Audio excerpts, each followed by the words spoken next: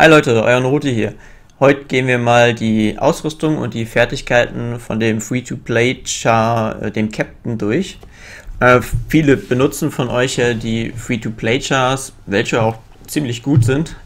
Nachteil an denen, äh, man kann nicht auf sie draufklicken, um sich die Fertigkeiten anzuzeigen. Man sieht hier nur in der Übersicht, gut, was haben die, aber was die Fertigkeiten jetzt bringen, sieht man nicht und ähm, als Free-to-Play-User kann man noch nicht mal irgendwie in den Custom Teil, Customize-Teil gehen und irgendwie die noch nachgucken, Stück für Stück. Also gehen wir jetzt einfach mal komplett den Captain durch, ähm, damit ihr auch wisst, äh, was für Fertigkeiten ihr einsetzen könnt, äh, was für Ausrüstung ihr habt und äh, was für Stärken und Schwächen ihr quasi habt. Also, dann fangen wir mal mit dem Captain an. Ähm, die anderen drei werde ich auch noch machen äh, Stück für Stück. Ich mache die dann in, unten in die Beschreibung rein. Wenn ich die fertig habe, dann könnt ihr euch die auch noch angucken. So, also ab zum Captain. Äh, gucken wir uns erstmal die Perks an. Das ist einmal ähm, Offensive Perk Man at Arms, also den Infanterie-Teil. Und dort haben wir Break Block. Break Block bringt, ähm, dass wenn ihr euren Schlag komplett aufgeladen habt und dann gegen äh, jemanden schlägt, der pariert, also ähm, wenn ihr die rechte Maustaste drückt, pariert er ja und das wird dann immer als blau angezeigt. Äh, wenn jemand pariert und man schlägt dagegen, ähm, kann man eigentlich das Parieren einfach weiterhalten, also die Waffe kriegt halt nur Schaden. Wenn aber da man Break Block hat und wenn man dann auf das Parieren draufschlägt, dann ist der andere dazu genötigt, nochmal ähm, das Parier hochzunehmen. Also er kann nicht das ständig halt haben. Also das ist für den äh, Block zu brechen quasi, äh, wenn derjenige pariert.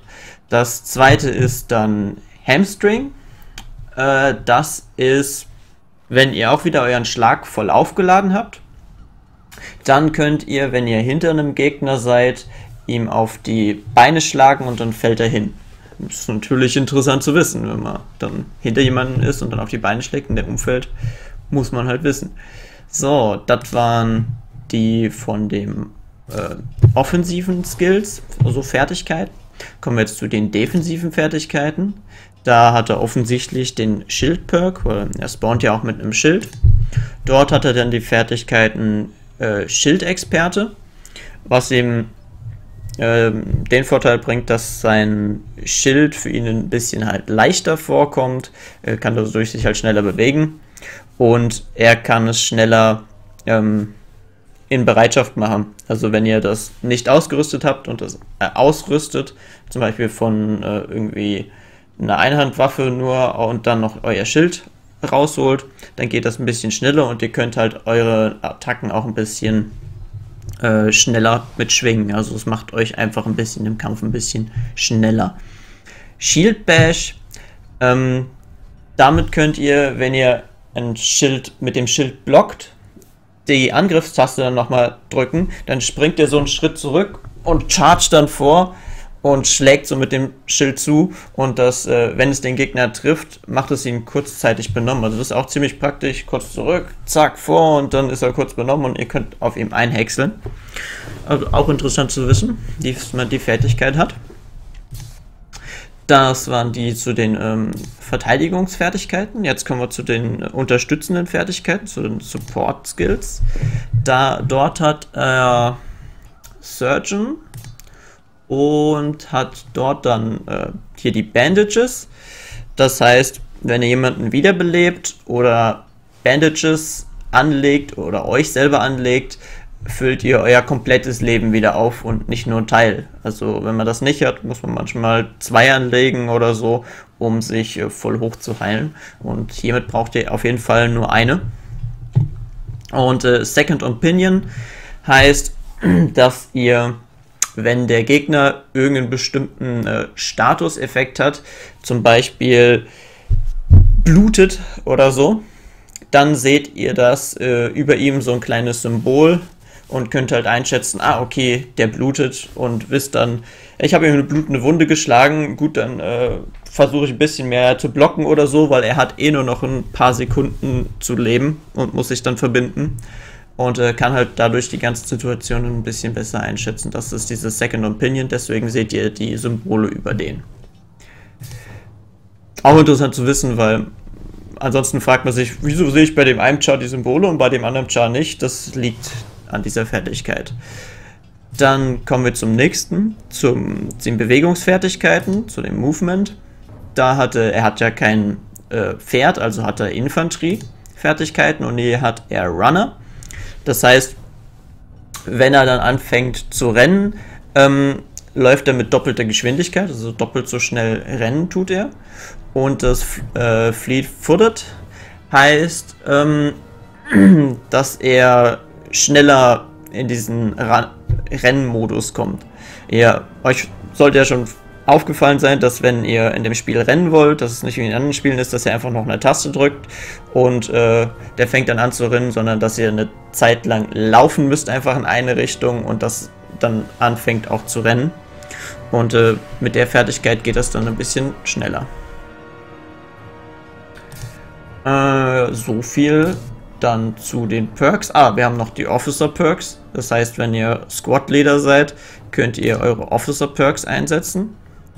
Hier hat er Reinforced Banner. Das gibt einen äh, Damage Buff für euren ganzen Squad. Und umso mehr Squad-Mitglieder in eurer Reichweite sind, umso höher ist dann der Buff auch. Und äh, der Courage Banner Buff. Damit kriegt ihr so einen kleinen Heal over Time. Also eure Lebenspunkte werden langsam regeneriert. Und auch umso mehr Squad-Mitglieder in der Nähe von dem Squad-Leader dann sind, äh, umso besser wird dann auch der Buff. So viel dann zu den Officer-Fertigkeiten. Ähm, kommen wir zur Bewaffnung. Bewaffnung hatte keine Main Weapon, sondern nur ein Sidearm. Und dort hat er, gucken wir, das Soldier Sword, Swords und dann ist hier unten das Soldier Sword. Dann gibt es die verschiedenen Fight-Style. Da hat er den Imperial Fighting Style. Damit macht man ein bisschen mehr Schaden. Dafür wird der Ready Speed ein bisschen runtergesetzt. Ähm, Metall ist normales Metall, was dann keine Vor- und Nachteile gibt. Äh, von der Klinge her hat er Hollow Grid. Äh, das heißt, ähm, dass die ein bisschen weniger Health hat, also ein bisschen weniger äh, aushält, die Waffe. Ähm, dafür kommt man durch Rüstung ein bisschen besser durch. Und als äh, Griff hat es den äh, Standardgriff. Ähm, dadurch kriegt man keine Vor- oder Nachteile im Gegensatz irgendwie zum Balance, der dann ein paar Werte ändert. Also dann den Standardgriff. So viel zur Waffe. Dann äh, Dagger ist der ganz normale Quillen Dagger. Hoher Speed, äh, einigermaßen Damage, ist halt ein Dolch. Äh, dort kann ich den Fighting Style nicht genau sagen, weil ich habe den auch nicht. Also ich sehe den ja auch nicht in der Übersicht. Ich nehme einfach mal an, dass es auch der Imperial Fighting Style ist, weil der auch der Schwert hat. Aber das weiß ich nicht, weil das sieht man hier in der Übersicht ja leider nicht.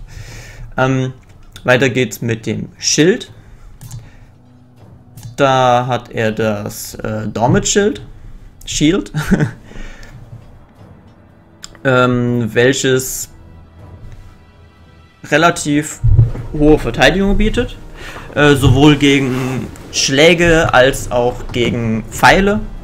Ähm, Im Gegensatz zum äh, Welsh Buckler ist es äh, ein bisschen. Äh, ihr habt es auf dem Rücken, Sprich, ihr braucht halt ein bisschen länger, bis ihr es ausgerüstet habt. Also das dauert ein bisschen länger. Äh, Vorteil ist, wenn ihr es auf dem, äh, auf dem Rücken euer Schild halt rumtragt, äh, ihr habt trotzdem den Schutzfaktor von dem Schild. Sprich, wenn ihr in den Rücken geschossen kriegt, ähm, blockt das euer Schild trotzdem ab. Also ähm, auch ziemlich gut. Ähm, hier vom Material weiß ich nicht genau, welches Material jetzt verwendet würde. Das sieht man leider auch nicht. Das kann ich nicht genau sagen. Ich nehme mal normales Material, aber wie gesagt, das sieht man nicht genau. Das so viel dann äh, zum Schild. Ähm, zum Schild auch noch zu sagen, sei, das ist in der Mittelkategorie von der äh, Größe quasi ist. Äh, also ihr habt dort von der Fläche, die abge die gedeckt wird, relativ im Mittelmaß, so zwischen dem Welsh Buckler und dem, äh, dem anderen. Ähm, dieses in der Mitte, damit bleibt es auch, äh, quasi mit dem Helm. Das ist nämlich äh, Medium Helmet. Und dort ist das der Solid Helm. Also im Prinzip ist das auch ein mittelgepanzerter äh, Soldat. Die, die Damage Absorption, wie ihr seht, ist ziemlich hoch. Im Gegensatz jetzt zum Beispiel zu so einem Kettenhemd. Ist halt wie, gilt halt als Platte. Äh, dann ist noch ein Visor, also ein, ein Visier ist noch auf dem, an dem Helm dran, welches ihr mit äh, V runterlassen könnt. Und dadurch kriegt ihr ein bisschen mehr Schutz gegen ähm, zum Beispiel gegen Stiche gegen euren Kopf oder gegen halt Pfeilbeschuss gegen euren Kopf. Schützt euch vor so Leuten wie mir, die den Leuten gerne in den Kopf schießen. Ähm, dann habt ihr noch einen Halsschutz. Diesen, äh, diesen hier. Der schützt euch vorne auch gegen Stiche wieder gut. Also ihr habt dadurch einen äh, verbesserten Schutz nochmal von vorne. Dafür halt ein bisschen mehr äh, Gewicht noch. So, so viel zum Helm. Dann bleibt nur noch die Rüstung übrig und dann haben wir es schon. Das ist auch dann passend zu dem Medium-Helm eine Medium-Rüstung und zwar der Harnisch hier unten, welcher von der Damage Absorption relativ äh, gut einzuordnen ist. Es ist eine Mischung zwischen, also hier bei Jamie sieht man vielleicht, ist der Damage Absorption ein bisschen höher. Allerdings ist das nur Kette und das andere ist, also der Harnisch ist eine Kombination aus Kette und Platte. Also ihr habt ein Kettenhemd an und oben drüber ihr habt halt noch einen Brustharnisch. Und ähm, der ist äh, nochmal ein Ecken, je nachdem, was halt für einen Schaden reinkommt, äh, besser. Wie gesagt, nur dass ihr wisst, vorne habt ihr Harnisch und ansonsten habt ihr Ketten, damit ihr das ein bisschen einschätzen könnt. Gut. Dann haben wir, sind wir alles durchgegangen von dem Captain. Ich hoffe, ihr habt so ein bisschen die Idee gekriegt, wie ihr den Captain einsetzen könnt. Eine wichtige Sache hätte ich fast vergessen. Kommen wir nochmal ganz kurz zurück zu den Perks, weil nicht nur die Fertigkeiten kriegt ihr, wenn ihr zum Beispiel raufgeht, äh, diese hier, sondern wenn ihr einen Perk auswählt, das hat auch immer eine Grundfertigkeit. Also zum Beispiel, wenn man Offensive nimmt und dann at Arms nimmt. Schon das at Arms, seht ihr neben dran, ist ein Tooltip. Äh, da kriegt ihr dann auch schon Fertigkeiten hinzu. Das eine ist nämlich, wenn ihr F drückt, macht ihr so ein ähm, Tackle Ability steht da. Also da, dann rusht ihr so ein Stück weit vor. Ähm, die ist relativ cool, also damit ihr wisst, mit dem Charakter könnt ihr mit diesem F die Fertigkeit einsetzen, wobei die auch unten dann äh, hier unten in eurem Inventar, also Interface dann angezeigt kriegt und dann wisst, äh, okay, wann man die einsetzen kann, weil die füllt sich dann nach einer Zeit lang wieder auf.